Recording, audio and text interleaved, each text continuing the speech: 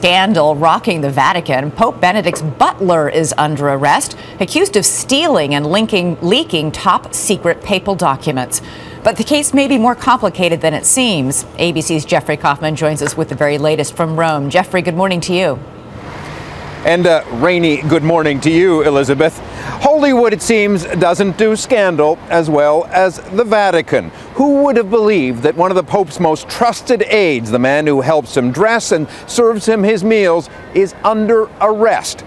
But did the butler really do it? He is always at the Pope's side. Here is butler Paolo Gabriele pouring papal wine, and that's him in the front seat of the Pope Mobile, literally at the Pope's right hand. But now the loyal butler under arrest, accused of betraying the man he serves by leaking embarrassing confidential Vatican documents to the Italian media. Do you think the butler did it? I think the butler is too a simple person to do something on his own. You think if it happened, there are others helping him? If it happens, there are others helping him and maybe leading him. The leaked documents have been making headlines here for months, exposing money laundering and kickbacks at the secretive Vatican Bank. The head of the bank, who said he was trying to clean it up, fired last week. Open the doors and tell the world the truth. It's a plot Dan Brown might have come up with for his Vatican thriller Angels and Demons.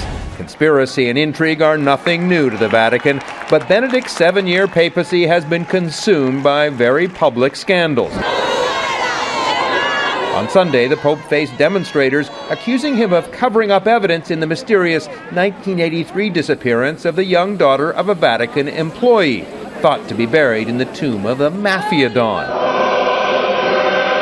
Meanwhile, the embattled Pope is said to be deeply saddened by the arrest of one of his closest aides. People cannot understand how a modest man who began as a cleaner in the Vatican would betray the Pope. And the notion that this betrayal could have come from somebody who was in the papal apartment and a member of the papal family uh, obviously uh, cause, is going to cause a great crisis of conscience.